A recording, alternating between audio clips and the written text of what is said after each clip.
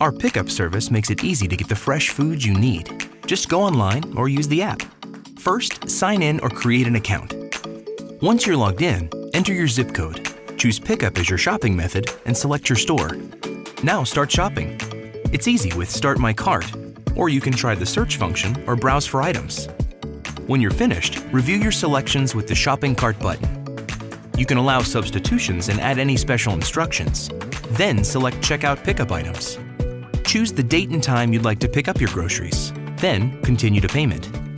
Add your mobile phone number for text updates so we can tell you when your order is ready and let you know about any substitutions.